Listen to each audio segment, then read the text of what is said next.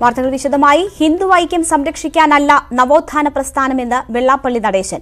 നവോത്ഥാന മൂല്യ സംരക്ഷണത്തിന് എസ് എൻ ഡി പി യോഗം ഏതറ്റം വരെയും പോകും.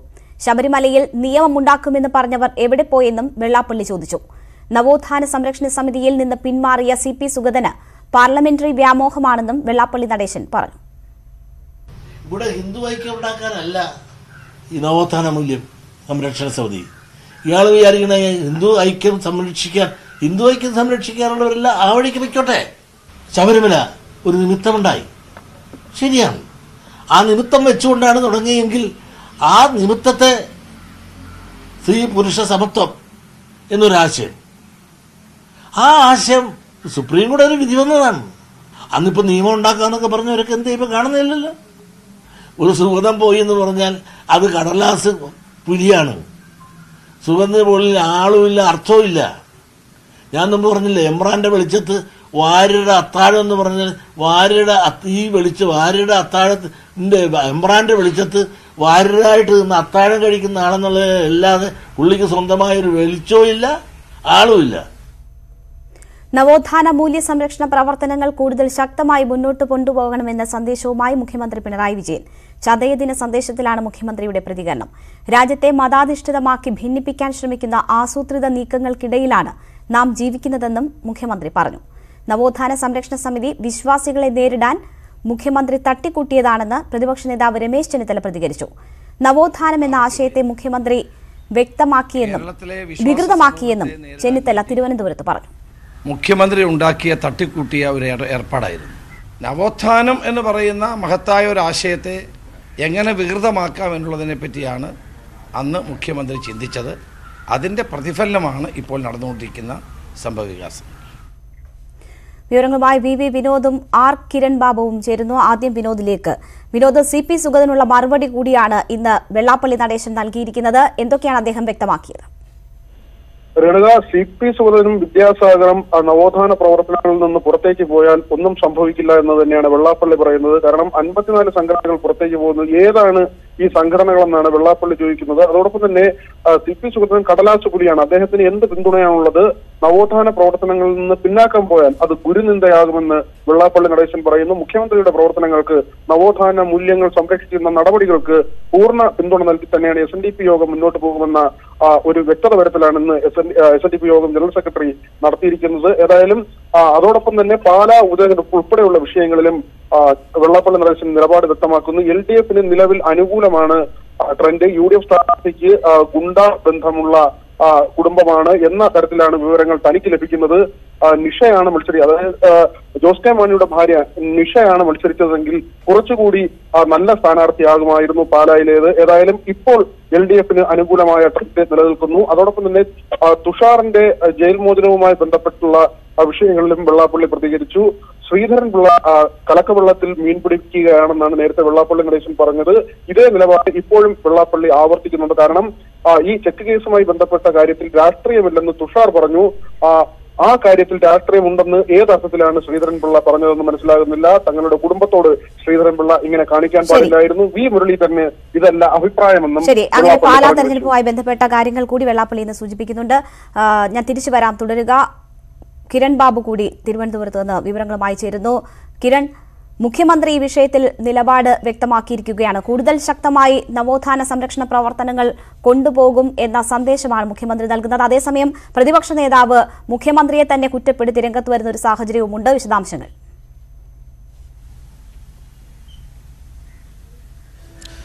രേണുക നവോത്ഥാന സംരക്ഷണ സമിതി രൂപം കണ്ട കാലം മുതൽ രാഷ്ട്രീയമായി ഇത്തരം അഭിപ്രായ വ്യത്യാസങ്ങൾ നിലനിൽക്കുന്നുണ്ട്.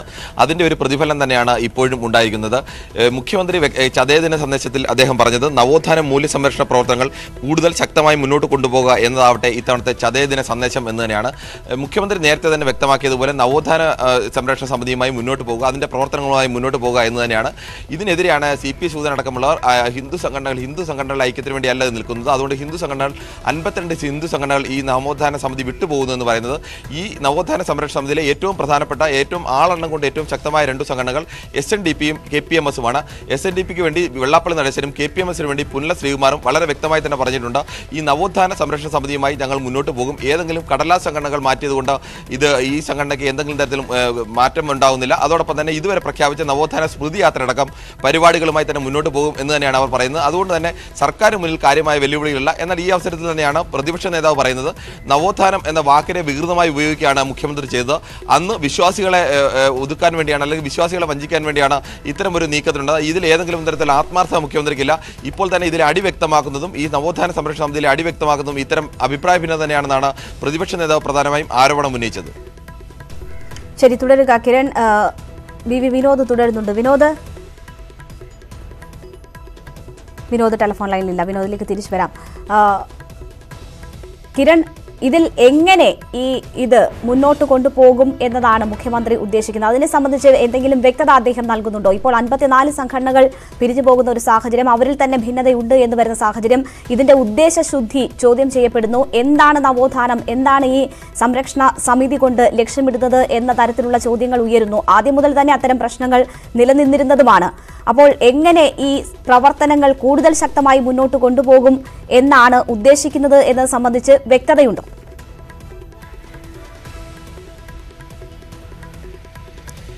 രേണുക ഇതിൽ ഏറ്റവും പ്രധാനപ്പെട്ട വിഷയം ഈ നവോത്ഥാന സംരക്ഷണ സമിതി രൂപീകരിച്ച് തന്നെ അറിയാം. ശബരിമല സ്ത്രീ പ്രവേശനവുമായി ബന്ധപ്പെട്ട വിവാദ ഉണ്ടായ ഘട്ടത്തിലാണ് സർക്കാർ പ്രതിരോധം എന്ന നിലയിൽ തന്നെയാണ് ഇങ്ങനെ ഒരു സംരക്ഷണ സമിതി രൂപീകരിച്ചത്. ഈ സംരക്ഷണ സമിതിയിലെ ഏറ്റവും പ്രധാനപ്പെട്ട രണ്ട് അംഗബലം കൊണ്ട് ഏറ്റവും ശക്തരായ രണ്ട് സംഘടനകൾ എസ് എൻ ഡി പിയും കെ പി എം എസുമാണ്. പിന്നോക്ക വിഭാഗത്തിൽപ്പെടുന്ന ഈ രണ്ട് സംഘടനകൾ നിന്നുകൊണ്ടാണ് അവരുടെ രണ്ടുപേരുടെ ശക്തിയിലാണ് ഇങ്ങനെ ഒരു സംഘടന തന്നെ രൂപീകരിച്ചത്. ബാക്കി പേരിന് വേണ്ടിയുള്ള സംഘടനകൾ മറ്റ് പല സംഘടനകളും ഇതിലുണ്ടായെങ്കിൽ പോലും നിരവധി സംഘടനകളുണ്ട്. അതെല്ലാം ചെറിയ ചെറിയ സംഘടനകളോ അല്ലെങ്കിൽ താരതമ്യേന ഈ സംഘടനയുമായി ഏ, സംഘടനാ ശേഷിയിലോ അല്ലെങ്കിൽ ആളെണ്ണത്തിലോ ഒപ്പം നിൽക്കാൻ കഴിയുന്ന സംഘടനയല്ല. ഈ രണ്ട് പ്രധാനപ്പെട്ട സംഘടനകളും ഇപ്പോഴും സർക്കാരിനൊപ്പം നിൽക്കുന്നു എന്നതുകൊണ്ട് തന്നെ സർക്കാരിനെ സംബന്ധിച്ച് ഇതിൽ ഏതെങ്കിലും തരത്തിലൊരു വെല്ലുവിളി ഇപ്പോൾ തൽക്കാലം ഉയരുന്നില്ല എന്ന് വേണം കരുതാൻ. എന്നാൽ പ്രതിപക്ഷത്തെ സംബന്ധിച്ച് ചെറിയ തൊഴിലാണെങ്കിൽ പോലും ഹിന്ദു സംഘടനകൾ ചില ഹിന്ദു സംഘടനകളെങ്കിലും ഇതിൽ നിന്ന് മാറിപ്പോകുന്നുണ്ട്.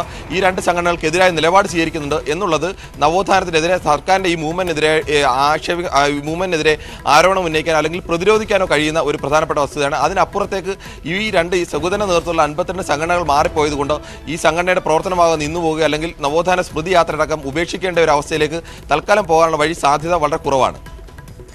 കിരൺ ഇവിടെ വെള്ളാപ്പള്ളി ഇതിന് വ്യക്തമായി തന്നെ മറുപടി പറഞ്ഞു പോകുന്നുണ്ട്. ഹിന്ദു ഐക്യം സംരക്ഷിക്കലല്ല നവോത്ഥാന പ്രസ്ഥാനം എന്ന് വെള്ളാപ്പള്ളി നടേശൻ വ്യക്തമാക്കുന്നു. ഇന്നലെ സി പി സുഗതൻ വെള്ളാപ്പള്ളി നടേശന്റെ പേരെടുത്ത് പറഞ്ഞുള്ള വിമർശനങ്ങൾ കൂടിയാണ് ഉന്നയിച്ചിരിക്കുന്നത്. അതിനുള്ള വ്യക്തമായ മറുപടി നവോത്ഥാന മൂല്യ സംരക്ഷണത്തിന് എസ് എൻ ഡി പി ഏതറ്റം വരെയും പോകും എന്ന് പറയുമ്പോൾ ഇതിൽ ഒരു ഭിന്നിപ്പോ അല്ലെങ്കിൽ നവോത്ഥാന സംരക്ഷണ സമിതി ആകെ ഇല്ലാതായി പോയി എന്ന തരത്തിലുള്ള കാര്യങ്ങളോ ഇല്ല എന്ന് കൂടി വ്യക്തമാകുന്നുണ്ടോ? സർക്കാരും മുഖ്യമന്ത്രിയും ഒക്കെ പറയുന്നതിനൊപ്പം വെള്ളാപ്പള്ളിയുടെ ഈ ശബ്ദവും കൂടി ചേർത്ത് വെക്കുമ്പോൾ.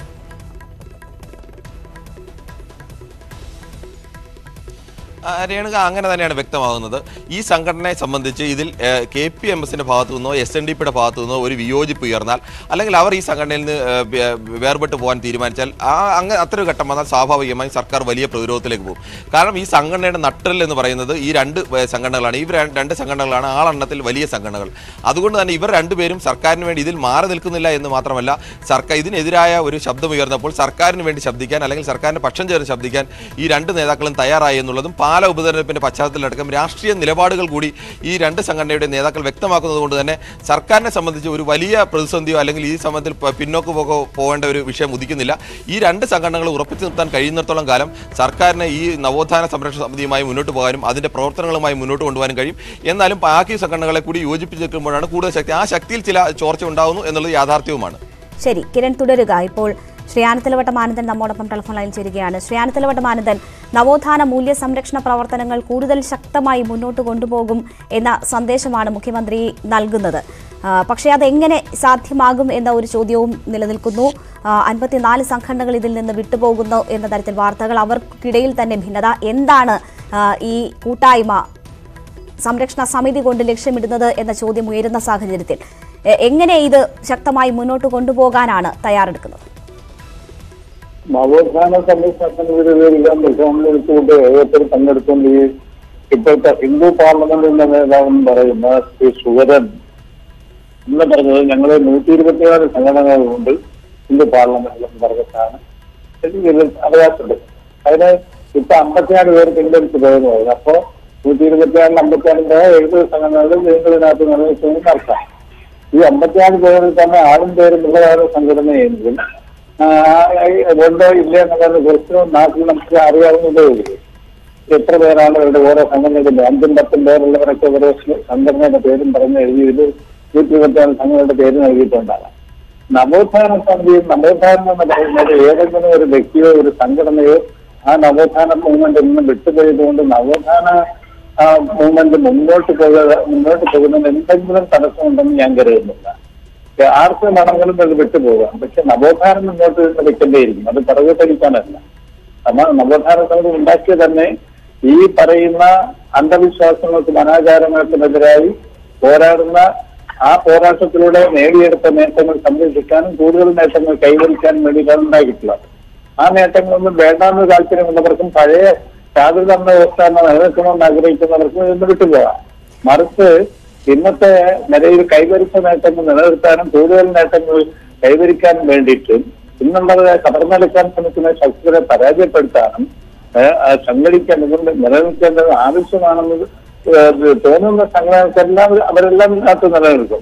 അല്ലാത്തവർ കപട വേഷധാരികളാണ് നവോത്ഥാനത്തിന്റെ പേര് പറഞ്ഞുകൊണ്ട് ഹിന്ദുത്വ രാഷ്ട്രം സ്ഥാപിക്കാനുള്ള ലക്ഷ്യത്തോടു കൂടി പ്രവർത്തിക്കുന്ന ഹിന്ദു വർഗീയവാദികളുടെ ശക്തികമായി പ്രവർത്തിക്കലാണ് ഹിന്ദു പാർലമെന്റ് എന്ന് പറഞ്ഞാലും ശരി അവരുടെ ലക്ഷ്യം തന്നെ ഹിന്ദു പാർലമെന്റ് ആണ് മനുഷ്യരെ മറ്റു മതവിഭാഗങ്ങളുടെ പാർലമെന്റ് അല്ല അവരൊക്കെ എങ്ങനെ നവോത്ഥാന സംരക്ഷണ സമിതിയിൽ അംഗങ്ങളായി അവർ അവിടെ എത്തി എന്ന ചോദ്യം ഉയരുന്നുണ്ട്. അപ്പോൾ ഇത് ഇതിന്റെ ഉദ്ദേശ ലക്ഷ്യങ്ങൾക്ക് ചേരാത്തവർ അണിനിരന്നുകൊണ്ട് അത് ആ- കാലത്ത് തന്നെ അത് വലിയ വിമർശനത്തിന് ഇടയാക്കുകയും ചെയ്തിരുന്നു. ഇദ്ദേഹത്തിന്റെയൊക്കെ പശ്ചാത്തലം ചൂണ്ടിക്കാട്ടി തന്നെ വിമർശനങ്ങൾ ഉയർന്നിരുന്നു. അപ്പോൾ എന്താണ് സർക്കാർ ഇതുകൊണ്ട് ഉദ്ദേശിച്ചത്? എന്താണ് ഇതുവരെ ഇതിന് നേടാൻ കഴിഞ്ഞത്? എങ്ങനെയായിരുന്നു ഇതിന്റെ പ്രവർത്തനം എന്ന ചോദ്യം ഉയരുന്നില്ലേ ശ്രീ ആനത്തലവട്ടം ആനന്ദൻ? അവിടെയാണ് വിശ്വാസികളെ നേരിടാൻ മുഖ്യമന്ത്രി തട്ടിക്കൂട്ടിയതാണ് നവോത്ഥാന സംരക്ഷണ സമിതി എന്ന പ്രതിപക്ഷ നേതാവിന്റെ ആരോപണം പ്രസക്തമാകുന്നത്. വിശ്വാസികളെ നേരിടാൻ വേണ്ടിയിട്ടല്ല നവോത്ഥാന സമിതി അവിശ്വാ അന്ധവിശ്വാസികളെയും അനാചാരങ്ങളെയും നേരിടാനാണ്. നവോത്ഥാന മൂല്യങ്ങൾ സംരക്ഷിക്കാനാണ്. നവോത്ഥാന മൂല്യങ്ങൾ കാത്തുരക്ഷിക്കാനാണ് പുറകോട്ട് പോകാനല്ല. അതുകൊണ്ട് വിശ്വാസികൾക്ക് എതിരായിട്ടാണ് നവോത്ഥാന മൂല്യ സമിതി ഉണ്ടായി എന്ന് പറയുന്നത്. അത് തെറ്റിദ്ധരിക്കാൻ വേണ്ടി അന്ധവിശ്വാസവും അനാചാരവും വെച്ച് പുലർത്തുന്ന ആളുകളുടെ ദർശനങ്ങളാണ് ഒരിക്കലും അന്ധ വിശ്വാസികൾക്കെതിരായിട്ടല്ല നവോത്ഥാന സമിതി ബോധിച്ചുള്ളത് വിശ്വാസം സംരക്ഷിക്കാനും വിശ്വാസികൾക്കെല്ലാം അവസരം ലഭ്യമാകുന്നതിനും വേണ്ടിയിട്ടാണ്. അന്ധവിശ്വാസത്തിനും അനാചാരങ്ങൾക്കുമെതിരായിട്ടാണ് നവോത്ഥാന പ്രസ്ഥാനം രൂപം കൊണ്ടിട്ടുള്ളത് അതിനെയാണ് മുമ്പിൽ കൊണ്ടുപോകാൻ എല്ലാവരും പരിശ്രമിക്കുന്നത്. നവോത്ഥാന സമിതി പരിശ്രമിക്കുന്നത് ശരി. വളരെ നന്ദി ശ്രീ ആനത്തലവട്ടം ആനന്ദൻ ഞങ്ങളോട് സംസാരിച്ചതിന്. ഇപ്പോൾ ശ്രീ സണ്ണി എം കപിക്കാട് നമ്മോടൊപ്പം ടെലിഫോൺ ലൈനിൽ ചേരുകയാണ്. ശ്രീ സണ്ണി എം കപിക്കാട് നവോത്ഥാന മൂല്യ സംരക്ഷണ പ്രവർത്തനങ്ങൾ കൂടുതൽ ശക്തമായി മുന്നോട്ട് കൊണ്ടുപോകുമെന്ന സന്ദേശം മുഖ്യമന്ത്രി നൽകുന്നുണ്ട്. രാജ്യത്തെ മതാധിഷ്ഠിതമായി ഭിന്നിപ്പിക്കാൻ ശ്രമിക്കുന്ന ആസൂത്രിത നീക്കങ്ങൾക്കിടയിലാണ് നാം ജീവിക്കുന്നതെന്ന മുന്നറിയിപ്പും കൂടി മുഖ്യമന്ത്രി നൽകുന്നു. ഇപ്പോഴത്തെ സാഹചര്യത്തിൽ അങ്ങനെ ഈ പ്രവർത്തനങ്ങൾ മുന്നോട്ട് കൊണ്ടുപോവുക എന്നത് സർക്കാരിനെ സംബന്ധിച്ച് വളരെ എളുപ്പത്തിൽ സാധ്യമാകുന്നതാണോ ഈ സംഘടനകളെ വെച്ച്? അതത്ര എളുപ്പമുള്ള കാര്യമല്ലെങ്കിലും നവോത്ഥാന മൂല്യ സംരക്ഷണ സമിതി വളരെ ശക്തമായി മുന്നോട്ട് പോകുമെന്ന് പ്രഖ്യാപിക്കുന്നത് പോലും ഈ ഘട്ടത്തിൽ വളരെ പ്രധാനപ്പെട്ടതാണെന്ന് ഞാൻ വിചാരിക്കുന്നു. കാരണം നമ്മുടെ സമൂഹം വളരെ ഗുരുതരമായ ജാതി വിഭജനത്തിലേക്കും മതവിഭജനത്തിലേക്കും കിടക്കുമ്പോൾ നമ്മുടെ സമൂഹത്തിന് മുന്നോട്ട് പോകാൻ വഴികാട്ടിയായിരിക്കുന്ന ഒരു പ്രധാന ചരിത്ര ബോധ്യം ഒരു മൂല്യമണ്ഡലം നവോത്ഥാനത്തിന്റെതാണ്. അതിനകത്ത് ഏതൊക്കെ ജാതിയുണ്ട് ഏതൊക്കെ മതമുണ്ടെന്നുള്ളതല്ല. നവോത്ഥാനം പൊതുവിൽ മുന്നോട്ട് വെച്ച നീതിയുടെ തുല്യതയുടെ ഒരു മൂല്യമണ്ഡലമുണ്ട് ആ മൂല്യമണ്ഡലത്തിലേക്കാണ് സമൂഹത്തെ നമ്മൾ വലിച്ചടുപ്പിക്കേണ്ടത്.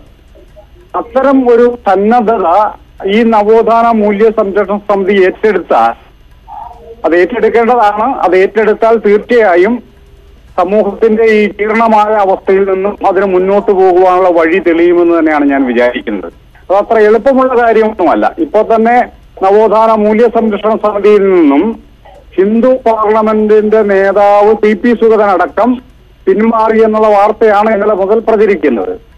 അവർ പറയുന്ന ഒരു കാര്യം ഈ ഹിന്ദു ഐക്യത്തിന്റെ ആണ് ഹിന്ദു പാർലമെന്റിന്റെ ആണ് പറയുന്നത് അവർ ഈ നവോത്ഥാനം കേരളത്തിൽ സംഭവിച്ച നവോത്ഥാനം എന്ന് പറയുന്ന സുഗതനൊക്കെ ഇപ്പൊ ഉയർത്തിപ്പിടിക്കുന്ന ഏറ്റവും മനുഷ്യവിരുദ്ധമായിട്ടുള്ള ആശയങ്ങൾക്കും മൂല്യത്തിനും എതിരെയുള്ള മനുഷ്യവംശത്തിന്റെ വലിയൊരു മുന്നേറ്റമാണ് കേരളത്തിൽ നടന്നത്. ആ മനുഷ്യന്മാരെ അന്ന് നവോത്ഥാനത്തിന് നേതൃത്വം കൊടുത്തവരെ വഴിയിൽ തടയുകയും ആക്രമിക്കുകയും അവർ മരിക്കാൻ വേണ്ടി ഹോമം നടത്തുകയും ചെയ്ത മനുഷ്യന്മാരുടെ പാരമ്പര്യം ഉയർത്തിപ്പിടിക്കുന്നവർക്ക് നവോത്ഥാന പ്രവർത്തനങ്ങളെ മുന്നോട്ട് കൊണ്ടുപോകാനാവില്ല. അവർ പിരിഞ്ഞു പോകട്ടെ എന്നാണ് ഞാൻ പറയുന്നത്. അവർ പിരിഞ്ഞു പോകുന്നതാണ് നല്ലത്. അവരതിനകത്തുണ്ടായാൽ തീർച്ചയായും ഈ പ്രതി ഈ ഈ സമിതി കൂടുതൽ പ്രതിസന്ധിയിലാവുകയും ഈ പറഞ്ഞ ബ്രാഹ്മണ്യം പോലെയുള്ള മൂല്യങ്ങളെ സമൂഹത്തിൽ തിരിച്ചു കൊണ്ടുവരികയും ചെയ്യുമെന്നുള്ളതാണ് പ്രധാനപ്പെട്ട സംഗതി. ശരി. വളരെ നന്ദി. അങ്ങനെയാണ് താങ്കൾ കാര്യത്തെ കാണുന്നത്. വളരെ നന്ദി ഞങ്ങളോട് സഹകരിച്ചതിന്. ഒപ്പം ശ്രീ ആനത്തലവട്ടം ആനന്ദൻ മറ്റൊരു വാർത്തയിലേക്ക്. ബി ജെ പി സംസ്ഥാന അധ്യക്ഷൻ പി എസ് ശ്രീധരൻപിള്ളയ്ക്കെതിരെ എസ് എൻ ഡി പി യോഗം general secretary Vellappally Natesan. Cheque കേസിൽ രാഷ്ട്രീയമില്ലെന്ന് തുഷാർ പറഞ്ഞിട്ടും ശ്രീധരൻപിള്ള ഉണ്ടെന്ന് പറഞ്ഞു. തന്റെ കുടുംബത്തോട് ശ്രീധരൻപിള്ള ഇത് കാണിക്കരുതായിരുന്നുവെന്നും വെള്ളാപ്പള്ളി കുറ്റപ്പെടുത്തി. ആ കാര്യത്തിൽ രാഷ്ട്രീയമാണെന്ന് പറഞ്ഞു. തുഷാർ പ്രത്യേകിച്ചും പറഞ്ഞു രാഷ്ട്രീയമില്ലെന്ന്. ശ്രീധരൻപിള്ള എന്തിനു രാഷ്ട്രീയം എന്ന് പറഞ്ഞു? അത് മിസ് മുരളി അത് പറഞ്ഞില്ലല്ലോ. അതൊരിക്കലും ശ്രീധരൻപിള്ള ഞങ്ങളെ കുടുംബത്തോട് കാണിക്കാൻ പാടില്ല ഇടവേള.